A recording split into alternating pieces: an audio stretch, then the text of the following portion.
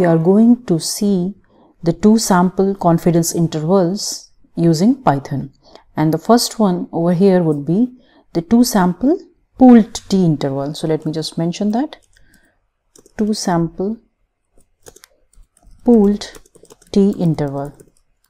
So in this case, if you can recall, we have a random sample coming from normal distribution with parameters mu1 and sigma square and there is another sample which is say y1 y2 ym which is also coming from your normal distribution with mean mu2 and same variance that is sigma square. So in this case we have the common variance between the two populations. So let us see how do we work with this. So first of all as we usually do we will import numpy as np okay we know that. This is used for your numerical operations and then from scipy.stats scipy.stats we will going to import t because we are going to work with the t distribution. Okay? Now let us set the random seed np dot random seed. So you must have seen that this line basically we have been using it when we started working with your random samples right because we do not want this sample to be updated every time we run this code in order to ensure that we have given this value over here you can give any non-negative number over here so let us see what are the true population parameters? True population parameters. So in this case, my true, the first mu1, let it be 35 and true mu2 be 30. So mu1 and mu2 is given to us and the common variance that is true sigma squared we are writing because sq suppose squared is 25 this is the common unknown variance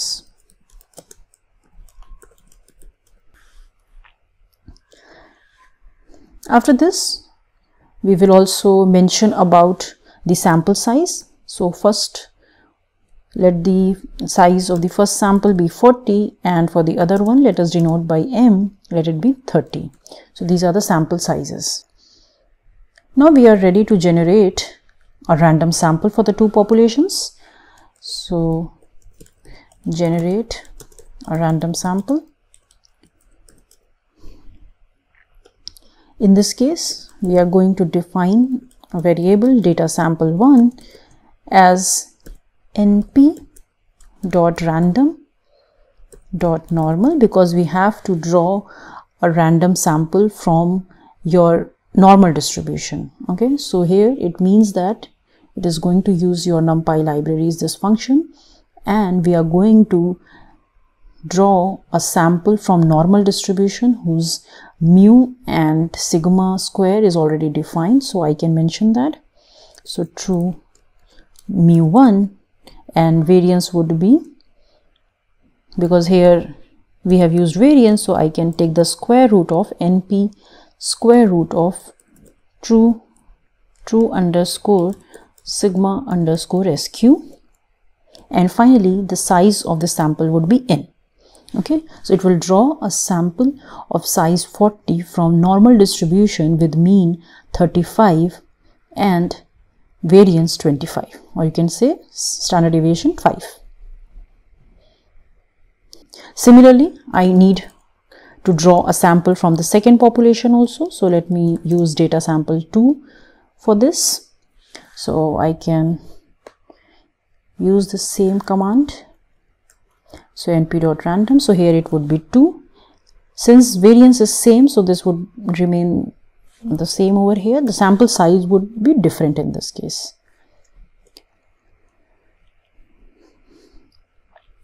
now we will set the confidence level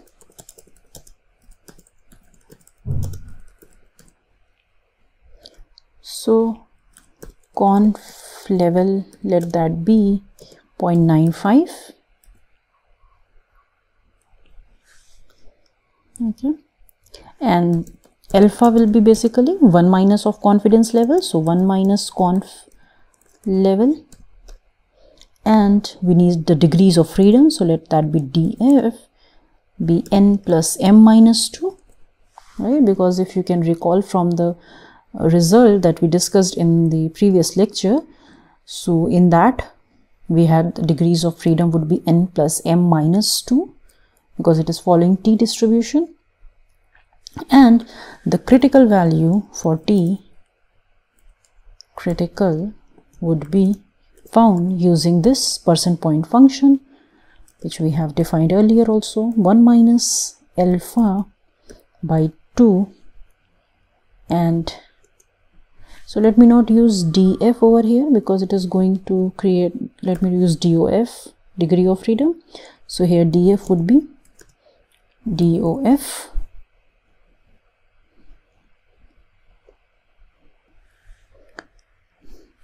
Now we will calculate the sample statistics.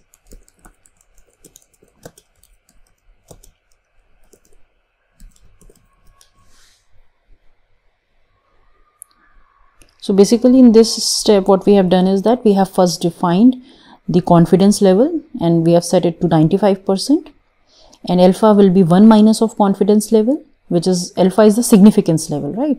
So it is basically representing the probability of making your type 1 error. Degree of freedom is n plus m minus 2 because it is a two sample t test. And t critical we have found out using this is basically the critical t value based on the confidence level and the degrees of freedom and we will use this to determine your margin of error for the confidence interval. So we will calculate the sample statistics now. So mean 1 would be calculated using np dot mean and here we would write the for the first sample it will calculate and in mean 2 we would store the mean for the second one data underscore sample 2 okay. Similarly sd1 also can be calculated. That is standard deviation. For this again we will use numpy's std function. So here again we would write data underscore sample 1 and here we will also specify that it is calculating the sample variance and not the population variance by specifying this DDOF as 1 and standard deviation 2 would be here again. So here we will use 2 now you are ready to calculate your pooled standard error. Calculate the pooled standard error. Pooled std only i would write. So here we will write np.sqrt basically we are looking at square root. So if you can recall it is basically in the numerator we have n minus 1 times sample variance of the first one plus m minus 1 times sample variance of the second one and the whole in the denominator we have n plus m minus 2 and if I take the square root of that that will be your S suffix p. That is the pooled standard deviation or pooled standard error np dot square root. So here I need to first write the numerator. So it is n minus 1 times st sorry sd1 we have used this notation. Sd1 plus m minus 1 times sd2 and this whole is divided by the degrees of freedom that is DOF that is n plus m minus 2. So here there would be one more bracket okay.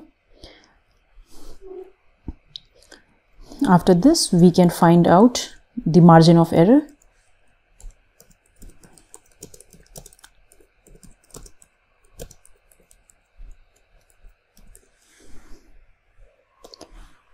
For margin of error, we can just write MOE. So T critical into we multiply it with the pooled one that is pooled SD pooled SD and then we multiply it with 1 over n plus 1 over m square root of that thing. So we will write n sorry np dot sqrt 1 over n plus 1 over m. Right? Because if in this case two sample pool t interval the confidence interval came out as sample mean x bar minus y bar plus minus t alpha by 2 that is t critical at n plus m minus 2 degrees of freedom and then we multiplied it with this pooled standard deviation into SP into square root of 1 over n plus 1 over m. So pooled, sorry, it is pooled STD, not SD. Now, since you have calculated the margin of error, now you are ready to find out the confidence interval. Calculate the confidence interval for difference of means when you are looking at difference of mean so first of all let us write difference mean basically it would be mean 1 minus mean 2 okay because that we have already defined and your CI would now be basically the difference of mean that is difference x bar minus y, y bar minus the margin of error okay MOE and same thing x bar minus y bar difference mean plus margin of error. Finally, we can print these. So we can give the command print. We can again use this f string. True mean. For 1 we have written so that is your true mu. True mu 1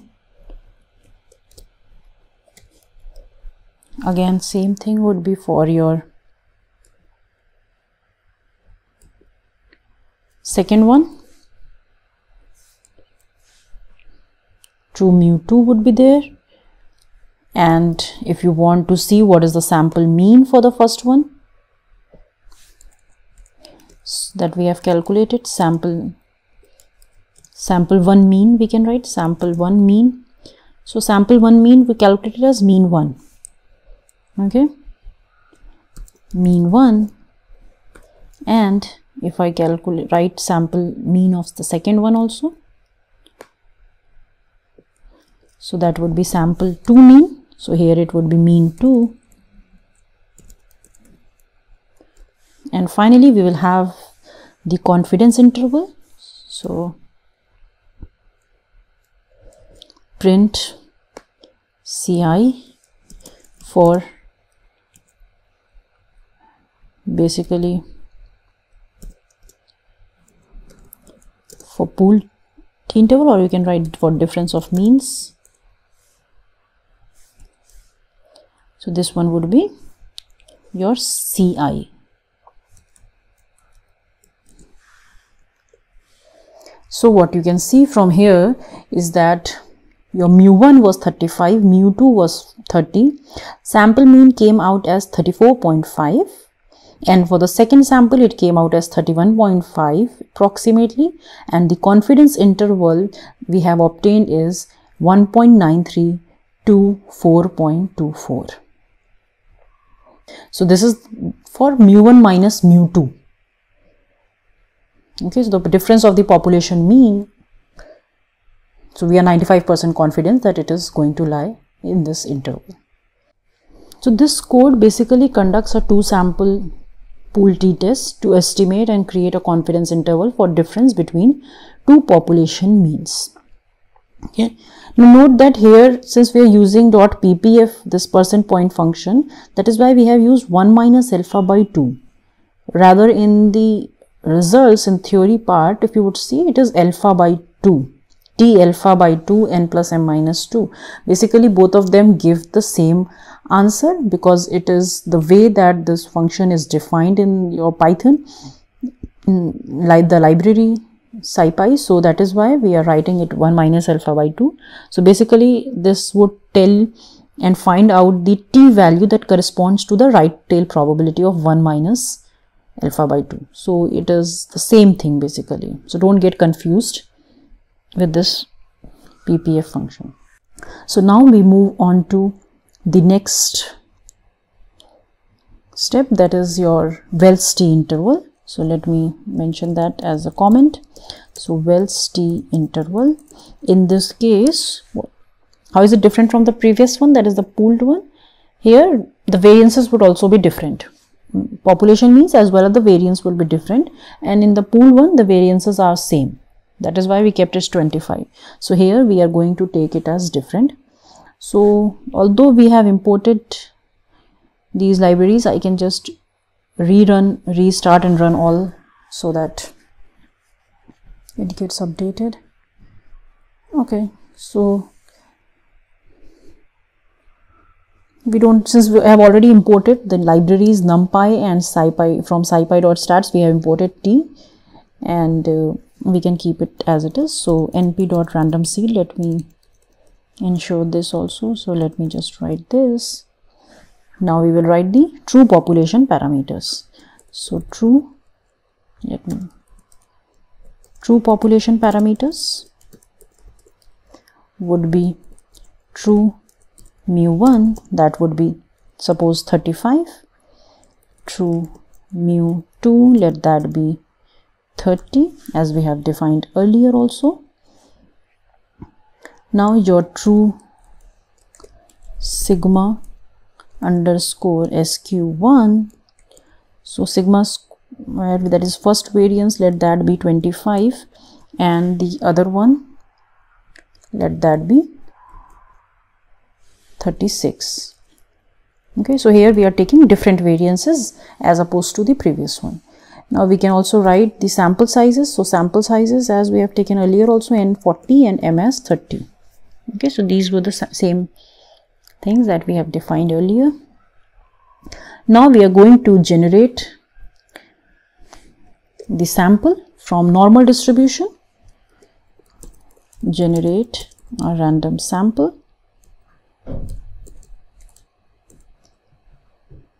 So data dot sample 1 np dot random dot normal so here it is the step is same with just the difference that here we would have to give the different variances for both the samples. So np.sqrt so here again we would write true sigma sq1 and here we would specify the sample size that is n and for the second one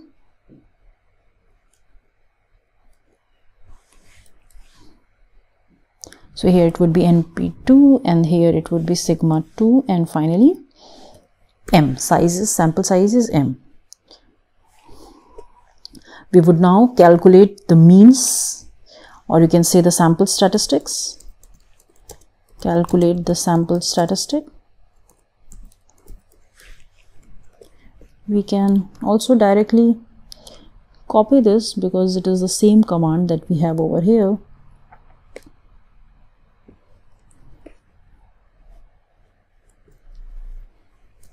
So mean would mean 1, mean 2 would be same, SD1 and SD2. Yeah, so this basically all this entire step would be the same. Okay.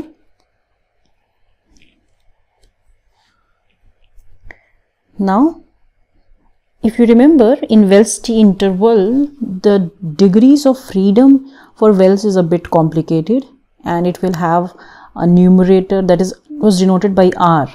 We had some term in the numerator and then in the denominator. So let me just write those things. Calculate.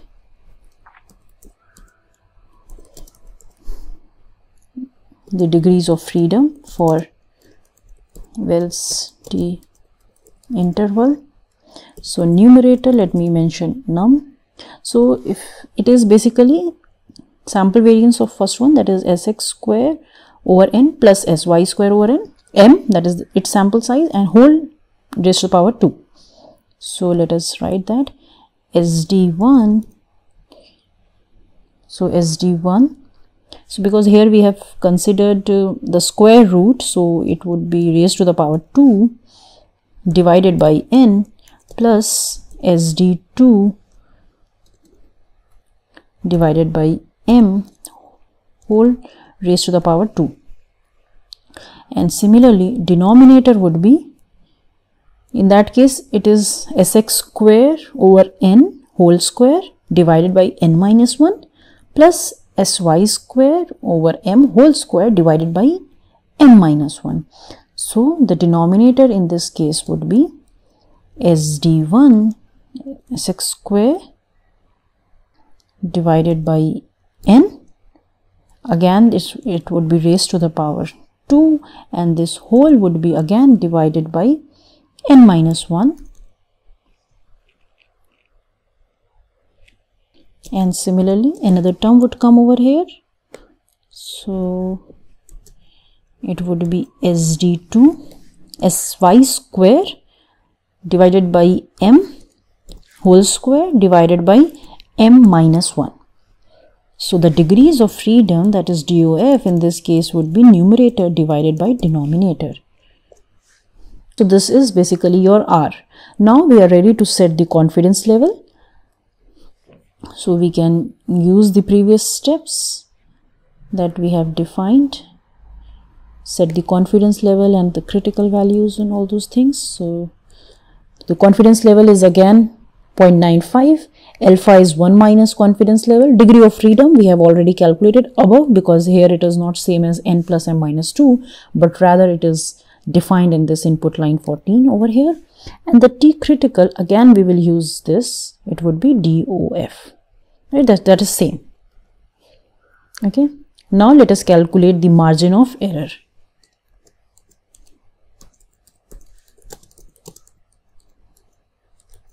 So the margin of error here it would be squared.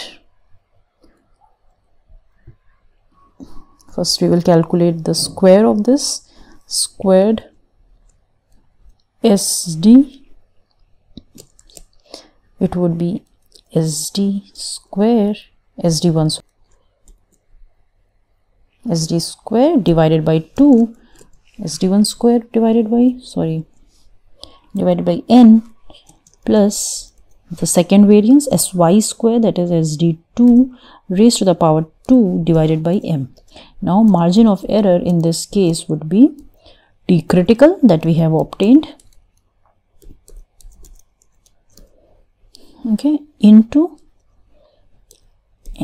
p dot sqrt of this squared sd because it is under root of sx square over n plus sy square over m. Right? So you have t critical evaluated at these degrees of freedom and you are multiplying it with sx square over n plus sy square. So this is the margin of error and finally you can substitute it for calculating the difference of means or the confidence interval. So if you want we can just use it from here. Probably we can use both of them right so we will write the difference of means. So difference of means would be x bar minus y bar and confidence interval in this case would be difference of means minus moe the same thing. Okay. Finally we can print all these and let us see. So let us see what is mean 1 if you see what is mean 1 mean 1 was 34.5 mean 2 was 31.79 mu1 mu2 if you remember it is 35 and 30 right? 35 and 30 now what do we need? We need the confidence interval. So let us see what is the updated confidence interval. You can see that it goes from minus 0.273 to 5.85 because we have different variances in this case so the confidence interval also gets modified in the same way. So this is basically your 95% confidence interval which means that we are 95% confident that the difference of the population mean is going to lie between these two. So the third case for your confidence interval in case of two problems it was the pair t interval. So let us see what do we do in this case. If you remember there we had since it is a paired sample so we will have d bar plus minus t alpha by 2 n minus 1 into sd divided by square root of n right? So we have already have the necessary libraries. So let us just write the sample data. So we are just taking this. So data 1 let me data 1 is the before one or maybe right i can write data b before only i would write. So let this be basically an array. So it would contain suppose 45 50 48 55 42 47 53 52 49 and 46 okay? So these are some random values that we have taken. So basically here we are defining these measurements. So data before. So here it has 3 6 7 9 10 observations. 45 50 48 55 42 47 53 52 49 46 likewise i can define what is the data afterwards so in this case it can be suppose 38 42 40 48 35 41 45 40 39 37 okay. Now we can calculate the differences so differences would be np dot array. So numpy's array. So basically this it is converting the list that we have defined over here into a numpy array. So this numpy and np dot array so we will write data before. It is taking the difference between this and np dot array data underscore after so basically it is doing element wise subtraction of these two arrays and then it is storing it in this differences array. Okay. Now let us see what is the length. Length is we know that length of these differences this is going to be 10 only. So let me just see what is n n is 10 now we can calculate the sample statistic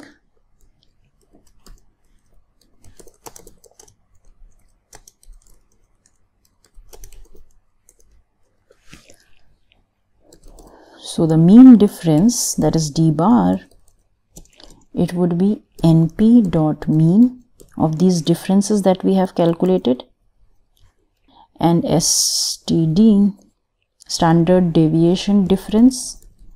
This would be np dot std differences that is difference that we have calculated at DDOF that is the sample variance. Okay? So we are calculating SD sample standard deviation over here. Again we can set the confidence level and other things. So it would be confidence level is 0.95 alpha is this and here again we have the same things. So remember that what I told you about the percent point function. So if you write if you in the theory part if you have alpha by 2 so in code when you are writing in python so it would be 1 minus of alpha by 2 because of the way the this function is defined in this library. Okay? Now if we have to calculate the margin of error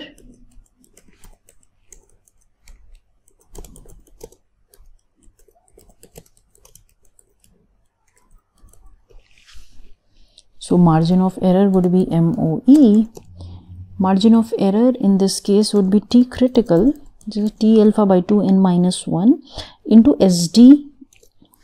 So SD is STD difference that we have obtained. So let me just write STD difference divided by square root of n. So we will write np dot square root of n.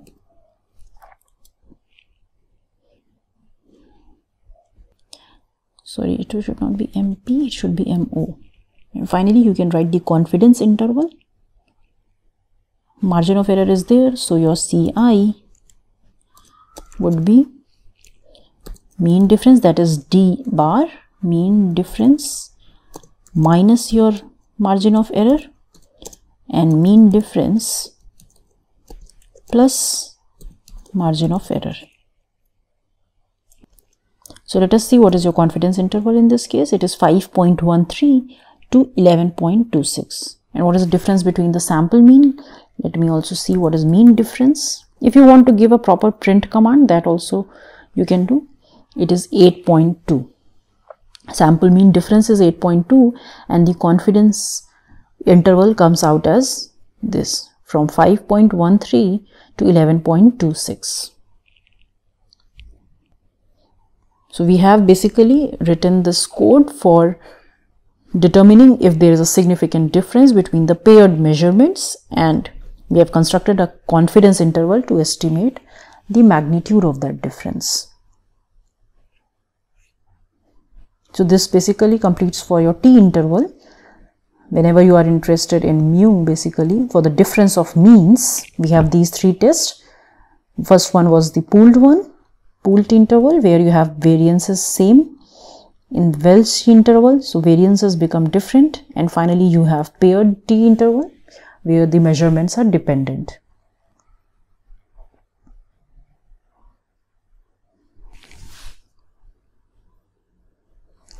Now we are going to look at the confidence interval for ratio of two population variances. Confidence interval for ratio of two population variances. Okay, sigma 1 square over sigma 2 square. So in this case, we need to import numpy. So let us rewrite it. And we also need from scipy dot stats import f. We need f distribution in this case because we are dealing with the ratio of two chi-squares. So if you can recall, we have studied this earlier in sampling distribution and in other places as well. So it is, we need this to calculate the critical f values. Now again, we will set the random seed np dot random dot seed, suppose 123. So basically by setting the random seeds, you ensure that the random samples generated are reproducible. Now we will write the true mu 1 mu 2 sigma 1 square and sigma 2 square. So we can probably take the same values that we have defined earlier. So suppose we are taking this same thing true population parameters. So let me just use this same setup here. So true mu 1 35 30 25 36 40 and 30 right. Now we will generate random samples you can see that the first few commands are same generate random sample. So basically these are the codes when you already have the data and you have uh, the variance and the mean you know what is happening there.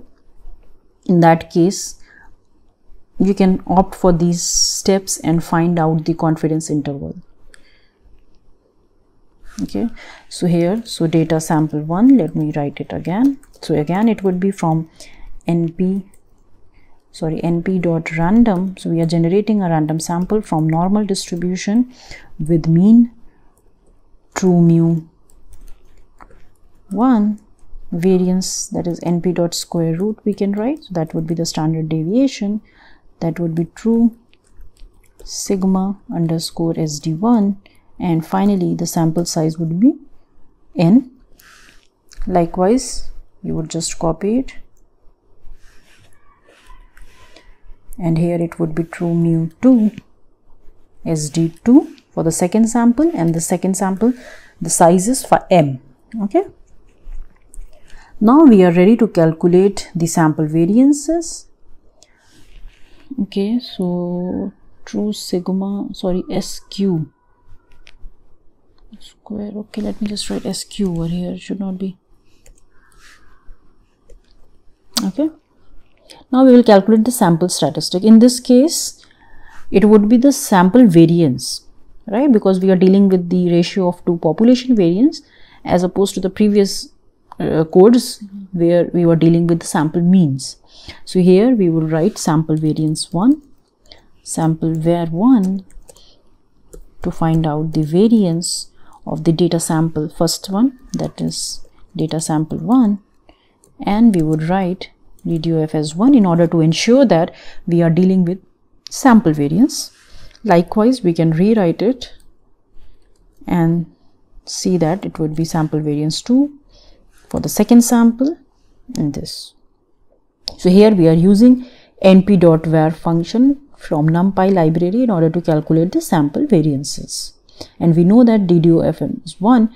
Basically, it specifies the Bessel's correction in order to get the unbiased sample variance. That is 1 over n minus 1 should be in the denominator. n minus 1 should be in the denominator. Now we set the confidence level. So confidence level, we have been taking it as confidence level. Let me just write it. So conf level would be 0.95 and alpha let that be so alpha in this case would be 1 minus of conf level. Now we will calculate the critical values. Critical values. So here in ratio of population variances we use c and d notations. C is used for first one so f dot ppf percent point function. In this case to calculate the percentile from your f distribution basically it is the inverse CDF right? So it would be alpha by 2 in this case m minus 1 n minus 1 and what will be d? Note that is, is again the reverse of what you have in your slides because it is alpha by 2 and 1 minus alpha by 2 are switched. M minus 1 n minus 1 c also if you can recall from the theory it is f at 1 minus alpha by 2 m minus 1 n minus 1 or you can say 1 over f alpha by 2 n minus 1 m minus 1 and d is this. So you have you, these lines will calculate the critical f values. C in this case it will calculate for c. And this one will calculate the critical value d for the upper bound of the confidence interval okay now we will use these critical values to construct the confidence interval for ratio of two variances so let me write that as lower bound suppose lower bound would be because if you recall it would be c times sample variance 1 divided by sample variance 2 s1 square over s2 square so a sample underscore var 1 divided by sample underscore var 2. Similarly, upper bound would be d times sample variance 1 and divided by sample variance 2.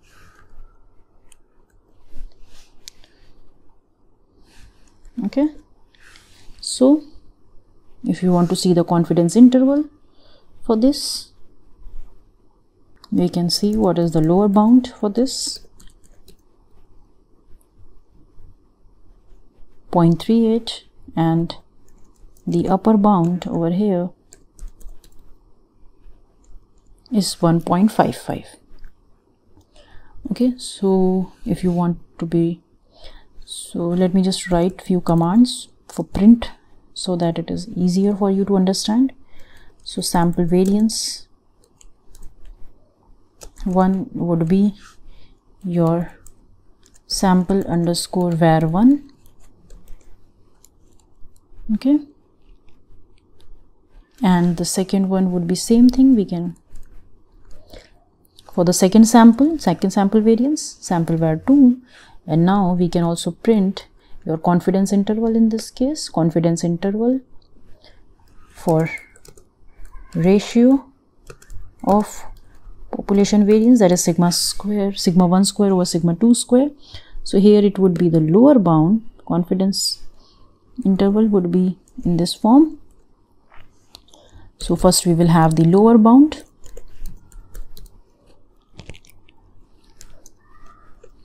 And then we will have the upper bound.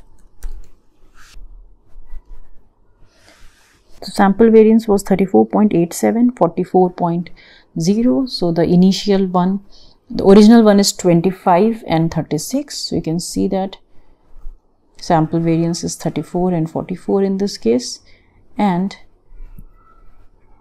this is basically your confidence interval for ratio of the two population variances.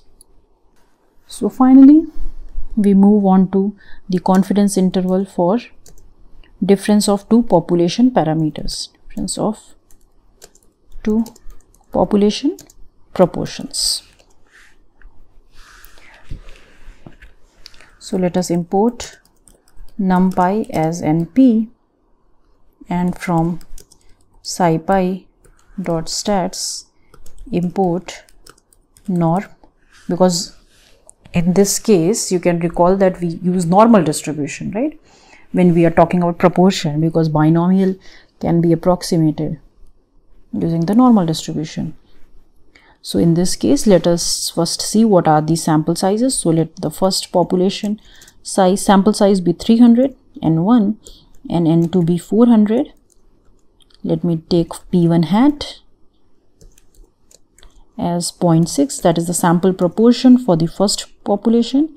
And p2 hat basically would be point suppose 0.55 okay this is the sample proportion corresponding to the second one let us take the confidence level as 0.95 and alpha as 1 minus of this confidence level.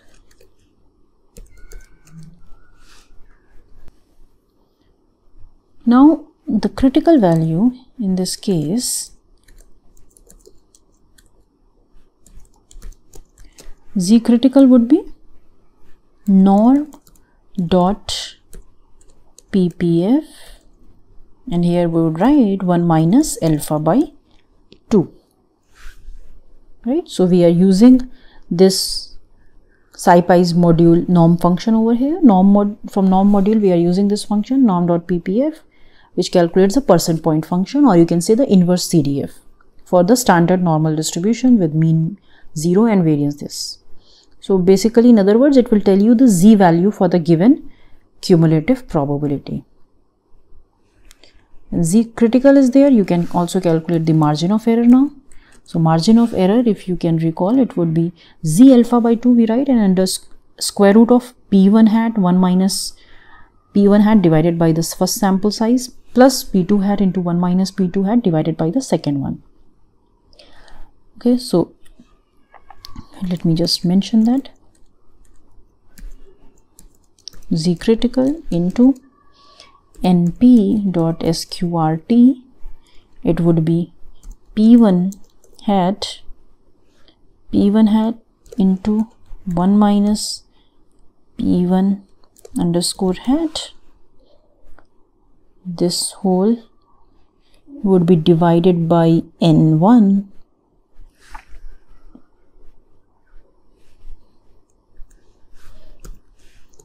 plus p2 underscore hat into 1 minus p2 underscore hat p2 hat okay divided by so here should be multiple p2 into 1 p2 hat into 1 minus p2 hat whole divided by the second sample size. Now you will have the difference of proportions different prop would be p1 hat minus p2 hat and your CI that is the confidence interval would be difference proportion minus your margin of error and difference proportion plus margin of error. So let us see what is the first P1 hat. P1 hat, P2 hat we already have right 0.6 and 0.55 and then we write the confidence interval. So let us see what is the confidence interval in this case. It is from minus 0, 0.02 to 0.12 so this basically tells you that it, we are 95% confident that the difference of the two population proportions would fall between these two endpoints.